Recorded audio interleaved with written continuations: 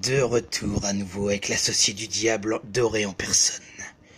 Excusez-moi pour la dernière vidéo, j'ai eu quelques soucis techniques. Donc, je vais vous parler d'Undead or Alive, une comédie horrifique version zombie niveau Far West. Et donc, je terminais cette description euh, de ce film assez spécial, qui est loin d'être un mauvais film, mais bon, qui est loin d'être un gros succès, en vous parlant d'une scène que j'ai trouvée pour le moins comique du shérif qui veut les choper et qui est en train de bouffer à la cuillère la cervelle d'un pauvre innocent. Voilà donc Undead or Alive. Quand les zombies débarquent au Far West, c'est pas pour manger des faillots. Pas mal. Je peux le conseiller, ça c'est sympa. Ensuite, l'oncle Sam. Ils ont osé faire un jeu de mots de merde là-dedans. C'est la mort d'un oncle qui s'appelait Sam. Et oui, c'est comme ça qu'il le commence. Malédiction vengeance d'un homme sacrifié. Donc c'est pas mal, franchement, c'est un, bon film.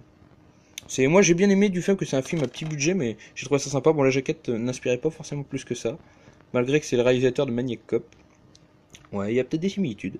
Et donc c'est un oncle euh, qui est ancien militaire, qui s'appelle Sam, et qui revient à la vie lors de la parade spéciale euh, qu'ils font aux États-Unis. Et de là, justement, euh, il va tuer tous les gamins qui bafouent les, principes de la loi américaine en déguisant en oncle Sam, justement. Et c'est vachement sympa comme film, ça, se laisse regarder. Alors, mon gros coffret que j'ai payé 47 euros, l'intégrale des vendredis 13. Donc, très content de l'avoir, très content, mais ça me coûtait très cher. Donc, c'est des DVD slim, comme vous le voyez. Donc, ce qui est triste, c'est que ça commence à partir du chapitre 2 et que j'ai donc pas le chapitre 1. ça, ça me fait pleurer. Donc les jaquettes sont assez sympas quand même. Il y, a une arme à chaque fois. Donc par exemple là c'est une pioche. Donc ça commence au chapitre 2, le tueur du vendredi 13. Euh, chapitre 3, le tueur du vendredi 13 2. Chapitre 4, chapitre final. Toi tire-bouchon, c'était assez original. Chapitre 5, donc c'est Cisaille, c'est nouvelle terreur. Chapitre 7, c'est 6, c'est Jason le mort-vivant, c'est une machette donc l'arbre de prédiction de Jason. Chapitre 7, c'est le nouveau défi, donc c'est une hachette de boucher, je dirais. Et chapitre 8, ultime retour, c'est une hache. Et également le remake, normalement, du premier épisode, Bienvenue à Crystal Lake de 2009 avec un piège à loup. Sauf que pour moi, c'est un remake des quatre premiers euh, épisodes euh, en global. Donc vous voyez, juste pour prendre celui-là, il y a l'arme, et à chaque fois, il y a le visage de Jason. Là, là, comme vous voyez là, comme vous le voyez là, qui se reflète à chaque fois d'une tache de sang. Je trouve que les jaquettes, elles sont assez sympas. Bon, c'est des slims, c'est pas les originaux. Puis le, carton, la jaquette de début est... Bon, l'arrière est moins bien et la tranche encore moins. Euh, l'avant est vachement sympa à regarder, donc la collection. Donc je pense qu'ils n'ont pas commencé au chapitre 1, ils ont commencé directement au chapitre 2. Parce que dans le 1, c'est pas Jason qui tue, c'est sa mère. Et donc euh, voilà, donc il me manque le chapitre 1 que j'espère trouver. Donc ensuite, on a Jason le mort-vivant. Donc euh, le chapitre 10 euh, ou 11, je ne sais plus. Euh, peut-être même 9. Enfin voilà quoi, la suite. Donc dans celui-là, donc la jaquette, je la trouve vachement stylée celle-là. Voilà, je la, trouve classe franchement. Et donc là, Jason, on le voit pas forcément, on le voit pas longtemps, pas directement, parce qu'il va prendre possession des personnes et tuer de cette façon-là. Donc comme je vous l'ai dit, maintenant que j'ai celui-là, il me manque le premier, le tueur du vendredi 13 partie 1 entre guillemets.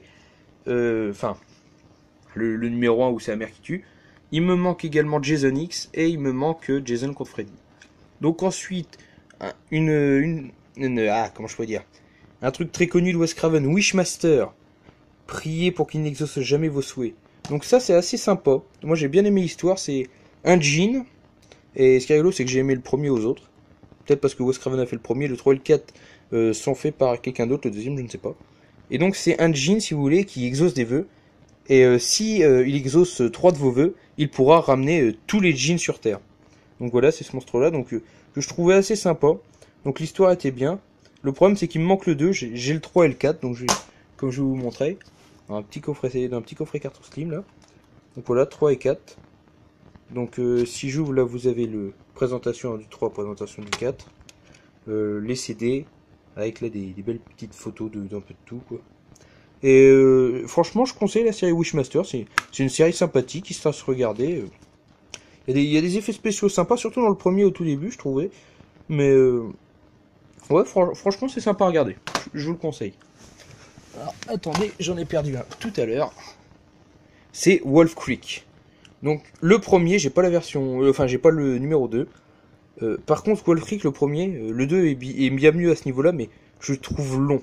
Je le trouve très long à démarrer, le premier. Alors, après, c'est sûr que c'est un bon film, et puis à la suite, ça devient super sympa, super flippant à la fin, mais, mais ils l'ont à démarrer. Voilà, c'est la seule critique que j'ai à faire là-dessus. Après, j'ai une série, donc Z Nation, donc euh, l'intégrale de la saison 1. Donc pour ceux qui connaissent pas, c'est vous prenez Walking Dead, et pour ceux qui connaissent pas Walking Dead, c'est que vous avez jamais vu un zombie de votre vie, ou alors pas dans les temps qui courent.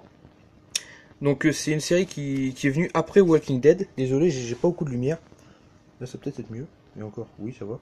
Et euh, donc c'est pareil, euh, ça part un peu comme de Walking Dead, c'est des survivants qu'on va voir tout, comment dire, au périple d'un long parcours durant le, reste de leur voyage, et qui, par contre, comparément à Walking Dead, ont un vrai but et ne vont pas avec des buts qui sont autres que survivre. C'est de ramener quelqu'un qui a été touché par un zombie, mais qui a eu un vaccin et du coup, ben l'effet des zombies ne, l'ont pas transformé. Mais euh, c'est vachement bien fait. Euh, ça va beaucoup plus que Walking Dead en une saison. On a l'impression de faire trois saisons Walking Dead. Donc voilà, l'acteur, bah, tiens, l'acteur de droite, c'est justement celui qui est touché par le syndrome zombie, mais qui n'a pas été affecté, mais qui pourtant a une sale tête. Voilà, donc ça se présente comme ça, les CD, donc très sobre, mais bon, ça, ça marche, on va dire, ça, suffit. Là, vous avez les, autres survivants derrière. Et donc voilà, une série très sympa. Zen Nation, je, recommande à tout le monde. Euh, il y en a deux qui est sorti, je crois. Je sais pas s'ils ont sorti d'autres après. Donc ensuite, Zombie de George Romero, qui a le trophée pour moi de la jaquette la plus épurée au monde. Ça va être dur de faire moins bien. Enfin, moins bien dans le sens où il n'y a rien. Donc quand il n'y a plus de place en enfer, les morts reviennent sur Terre. Donc c'est une phrase tirée du film. Enfin, même s'il est un peu divergente. Donc pareil, c'est un film de George Romero. Donc euh, voilà, Georges Romero, le roi du zombie, ça c'est le film qui l'a fait le plus connaître, si je me trompe pas. Ou en tout cas, il en fait partie et c'est un film que, je conseille à tout le monde. Il, est vachement sympa. Bon, il a, il a beaucoup vieilli par contre. Hein. Les zombies, euh, vous dites, euh, un gamin aujourd'hui avec euh, deux épingles à nourrice, un peu de maquillage et du faux vomi, ça fera mieux. Mais bon, c'est un très bon film vu l'époque. Ensuite, Zombie King, que j'ai vu euh, Sullivan, si je me trompe pas. Alors après, je n'ai pas encore vu sa série, donc je ne peux pas dire comment elle s'appelle. Donc, euh, qu'il l'a trouvé récemment dans un vide-grenier. Et c'est Zombie King, donc euh, Invasion of Doom. Donc moi, ça m'a beaucoup plu parce que ça faisait penser à des luchadors, les masques comme ça. Et d'ailleurs, c'est le cas. C'est un film de George Romero aussi, mais c'est très spécial. C'est plus délirant, vraiment horrifique.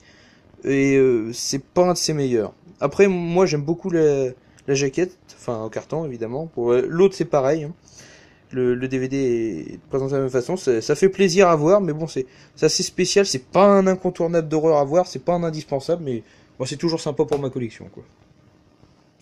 Ensuite, le coffret, donc on passe à mes Blu-ray quand même que j'ai mis après DVD, j'ai pas mélangé. Donc euh, le coffret Annabelle et Conjuring Dossier Warren. Donc Annabelle, ça fait un tapas, j'ai pas vraiment accroché. Conjurer dossier Warren, c'est passé, euh, ça fait moins de tabac. J'ai carrément plus accroché. C'est, c'est, c'est autant Annabelle, c'est pareil, presque un film que je vous dis qui est pas indispensable à voir. Conjurer dossier Warren, c'est un film super bien. Enfin, c'est mon avis. Donc il y a deux Blu-ray dedans et franchement, ouais, le, coffret est sympa à voir quand même. C'est, c'est sympa. Surtout qu'il y a The Boy qui est sorti là récemment. Va falloir que j'essaie de le trouver aussi. Donc après Harpoon ou Harpon, je sais pas comment ça se prononce. Donc pareil, c'est un petit slasher. Donc euh, Bon, ça casse pas trop patte à un canard, mais bon, c'est sympathique à voir, ça, passe le temps. En plus, avec euh, le fait que ça soit un Blu-ray rouge, là, c'est plus joli, je trouve. C'est sympa, ça colle bien avec le sang. Et... Enfin voilà, plus sanglant qu'un massacre tronçonneuse, ça, vous pouvez aller vous rhabiller tout de suite. Plus, il y a peut-être plus de sang, mais c'est parce que c'est la seule chose sur laquelle vous avez misé. enfin voilà, sympathique à voir, mais sans plus. Priest, donc j'ai été vachement déçu dans le sens où je pensais qu'il y avait plus de combats de plus de monstres que ça. C'est une guerre éternelle, sa mission n'est que le commencement. Donc c'est des membres du clergé qui reviennent, enfin des l'élite des clergés, les soldats, si je me trompe pas, et qui reviennent pour euh, tuer des espèces de monstres de vampires. Enfin là vous voyez c'est on se voit dans Resident Evil.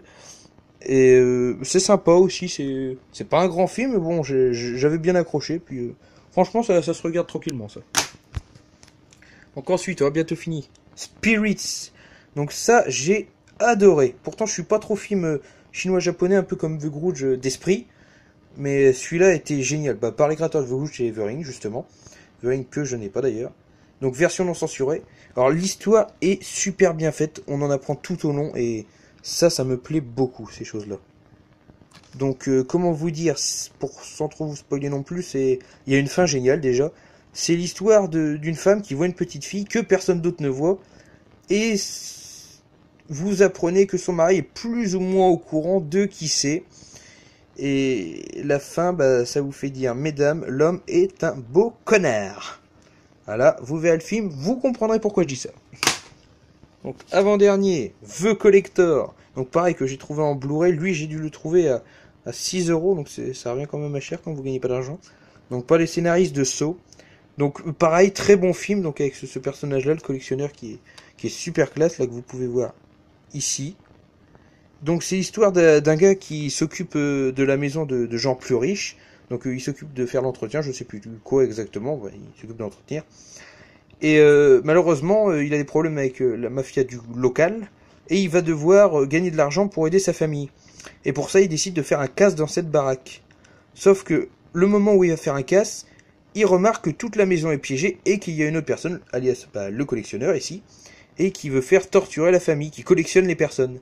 Et là, euh, s'ensuit un, une grande série de catastrophes et il va devoir tout faire pour se barrer de la, la maison à tout prix et, et la fin est, est sympathique aussi. Franchement, euh, je, je- vais essayer de trouver la collection, The Collection, donc c'est c'est le deuxième. Et donc pour finir, j'ai un gros coffret DVD que m'avait offert ma mère, donc avec que des films de de de, de, re- re- re- trois séries de films d'horreur et une série de films euh, d'horreur psychologique pour les âmes sensibles quand elles sont jeunes. donc avec euh, Les Voyeurs, Cougar Club et Marie, Gourmande. Marie Gourmande. Donc euh, je ne vais pas vous en parler de cela, hein. c'est plus pour les autres que j'étais intéressé. Donc il y a Grizzly Park, donc c'est un film sympathique mais sans plus. Donc bon, quand même agréable à regarder, on passe un petit moment de détente. Alors, dédicace pour Tanguy qui adore les poissons méga piranha 3D. Et celui-là était tellement bien que je te le conseille pas du tout. Quoiqu'après, je suis diabolique. Donc peut-être. Non, les effets spéciaux, franchement, sont pas terribles du tout. Ça en vaut pas la peine. Après, il y avait Jack Brooks, tueur de monstres, donc avec l'acteur qui, joue Freddy. Euh, on va me violenter, mais son nom m'échappe. Son nom m'échappe. Je suis désolé. Donc pareil, ça c'est un film, euh, c'est sympathique mais avec des effets spéciaux un peu bas de gamme, on va dire. Ensuite, il y a Briefing Room. Pour moi, c'est le meilleur de tous. Euh, Celui-là, il est génial. C'est un film, si vous voulez, c'est il y a des gens dans une pièce, ils sont là, on ne sait pas pourquoi et toutes les toutes les heures, plus ou moins, là, ça s'éteint et il y a quelqu'un qui meurt et donc il y a un assassin, mais on ne sait pas qui. Affamé. Donc ça, c'est un film de 4 ou 5 personnes, 5 personnes, je crois, voilà dans une ante, donc euh, qui vont devoir finir par devenir cannibales, on va dire. C'est un film assez éprouvant, celui-là m'a fait mal au cœur, quoi. Donc euh, quand je prendrai cannibale